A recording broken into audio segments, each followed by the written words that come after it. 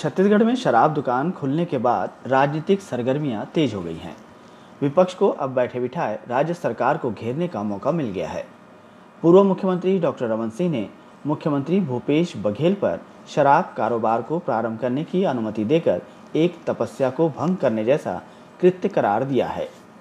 उन्होंने कहा कि 40 दिन से अधिक हो गए, संपूर्ण भारत में लॉकडाउन लागू है।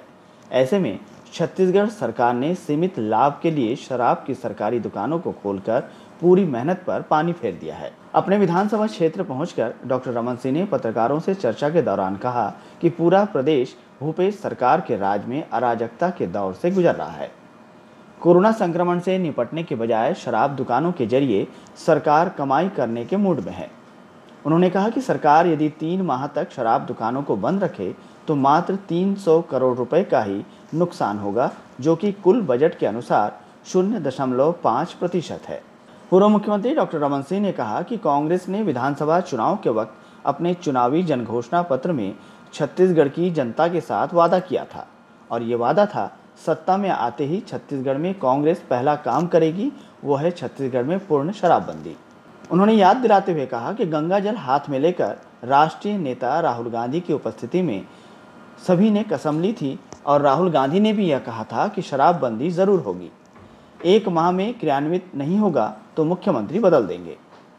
आज जनता पूछ रही है कि डेढ़ साल से ज़्यादा समय हो गया है, पूर्ण शराबबंदी का क्या हुआ?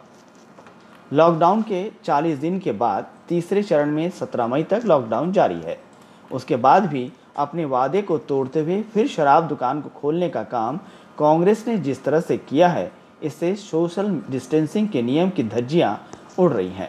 राहुल गांधी की उपस्थिति में उन्होंने कसम खाई थी सौगंध लिया था। राहुल गांधी ने भी कहा था कि शराबबंदी यदि पूर्ण शराबबंदी नहीं होगी, एक महीने के अंदर इसको क्रियान्वयन नहीं होगा तो मुख्यमंत्री बदल देंगे। आज जनता पूछ रही है कि डेढ़ साल से ज़्यादा समय हो गए।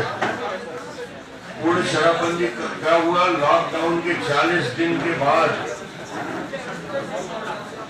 17 तारीख तक लॉकडाउन अभी है 17 मई तक। उसके बाद भी अपने वादा को तोड़ते हुए फिर से शराब दुकान खोलने का काम कांग्रेस ने जिस तरीके से किया है मुझे लगता है कि आज सोशल डिस्टेंसिंग के नियम के धज्जे बिगड़ रहे हैं। तो सरकार ने एक या तो समाप्त कर देना चाहिए। 144 लगाकर सोशल डिस्टेंसिंग के पाठ पढ़ाकर जनता को 40 दिन तक आपने दुनिया से काट के रखा। और जब आपके पैसे का सवाल आया, थोड़े से पैसे का सवाल आया आपने शायद कायदा कानून को ताक में रख के खुलेआम लोगों को उस कायदे कानून को तोड़ने के लिए अनुमति दी। इसका विरोध भारतीय जनता पार्टी करती है और हमारा इसमें स्पष्ट मत है कि सरकार को आने वाले समय में जब तक कोरोना का संकट है, ये शराबबंदी तो कर नहीं पाएँगे। लगता है कि ये घोषणा जनता के साथ किया गया वादा विश्वासघाती होगा। कम से कम तीन महीने जब तक कोरोना का संकट है, तब तक तो कम से कम शराब को ना बेचे। जहाँ तक अर्थव्यवस्था का सवाल है, एक लाख बीस हज़ार करोड़ के बजट में पचपन सौ करोड़ टोटल राजस्व होता है। तीन महीने बंद कर देंगे तो मुश्किल से तीन सौ करोड़ रुपया का नुकसान होगा। ये टोटल बजट का पॉइंट फाइव परसेंट भी नहीं होता। प्रदेश कांग्रेस संचार विभाग के अध्यक्ष शैलेश नितिन त्रिवेदी ने डॉक्टर रमन सिंह के आरोप का जवाब दिया है। उन्होंने कहा कि कांग्रेस ने 2018 के विधानसभा चुनाव के घोषणा पत्र में किसानों की कर्ज माफ़ी का त्वरित निदान की बात कही थी, जिसे निभाया गया। त्रिवेदी ने कहा कि कांग्रेस कभी भी वादे से नहीं मुकरी है, समय पर सभी वादे पूरे किए जाएँगे। कांग्रेस को राज्य में पाँच साल के लिए तीन चौथाई बहुमत से जनादेश मिला है। घोषणा पत्र का एक एक वादा पाँच साल के भीतर सरकार ज़रूर पूरा करेगी, जिसमें शराबबंदी भी समुचित व्यवस्था बनाने के बाद ही की जाएगी। उन्होंने कहा कि भाजपा और भाजपा की बी टीम द्वारा झूठ बोलने के लिए गंगा माता के नाम का दुरुपयोग किए जाने की कांग्रेस कड़ी निंदा करती है।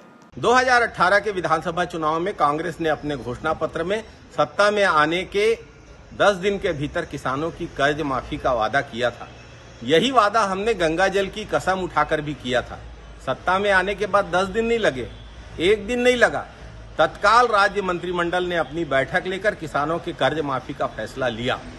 शराबबंदी का वादा हमने किया है और पाँच साल के भीतर हम अपने घोषणा पत्र के हर वादे को पूरा करेंगे। भारतीय जनता पार्टी और भाजपा की बी टीम के लोग हमने गंगा जल को लेकर जिस प्रकार से झूठ फैलाने में लगे हैं, इन्हें शर्म आनी चाहिए। हिंदू धर्म में, भारत भूमि में गंगा माता को पवित्र माना जाता है और गंगा माता का नाम लेकर झूठ बोलकर भाजपा और भाजपा की बी टीम धर्म का निरादर कर रहे हैं। बहरहाल, चार मई से प्रदेश में खुले शराब दुकान से राजनीतिक सरगर्मियाँ तेज हो गई हैं। अब नेताओं के ज़ुबान पर केवल शराब पर आरोप प्रत्यारोप के सिवाय और कुछ दिखाई नहीं दे रहा है। देश टीवी के लिए राजनांदगांव से प्रदीप मेश्राम की रिपोर्ट। ज़्यादा से ज़्यादा वीडियो अपडेट्स के लिए हमारे चैनल को सब्सक्राइब करें, लाइक करें और शेयर करें न्यूली अपडेट्स के लिए बेल आइकॉन का दबाएँ। देश TV, we report, you decide